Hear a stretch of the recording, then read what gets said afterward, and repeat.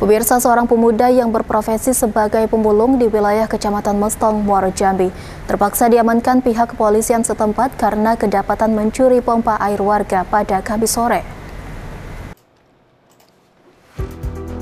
Seorang pemuda yang sehari-hari bekerja sebagai pemulung di wilayah Kecamatan Mestong, Muaro Jambi, terpaksa diamankan pihak kepolisian setempat karena kedapatan mencuri pompa air warga pada Kamis sore. Pemuda berinisial Y berusia 19 tahun ini sempat melakukan perlawanan saat ditangkap pihak kepolisian wilayah sektor Mestong. Petugas akhirnya dengan cepat bisa melumpuhkan pelaku pencurian tersebut. Diketahui, Y selain berprofesi sebagai pemulung di wilayah Muaro Jambi, tersangka juga merupakan salah satu pencuri pompa air yang telah lama meresahkan warga di wilayah Muaro Jambi. Tersangka merupakan warga Muaro Jambi yang tinggal di wilayah Talang Pelido yang pada saat diamankan baru saja mencuri pompa air di wilayah Kecamatan Mestong, Muaro Jambi. Aksi pelaku berhasil digagalkan polisi yang pada saat itu tengah melakukan patroli rutin di wilayah hukum Kabupaten Muaro Jambi.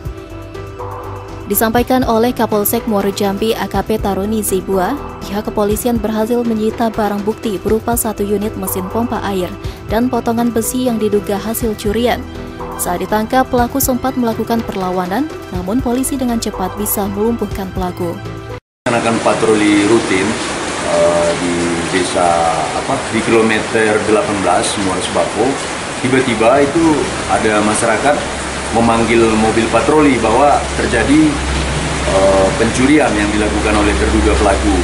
Kemudian terduga pelaku ini melarikan diri ke RT 16 RT 16 yang banyak inilah perkebunan sawit jadi kita kejar sampai ke sana mencuri pompa air di belakang kantor camat itu sementara yang yang bisa kita sampaikan jadi untuk korban sedang berproses untuk Atas perbuatannya tersangka terancam pasal 362 KUH pidana dengan ancaman hukuman di atas lima tahun penjara.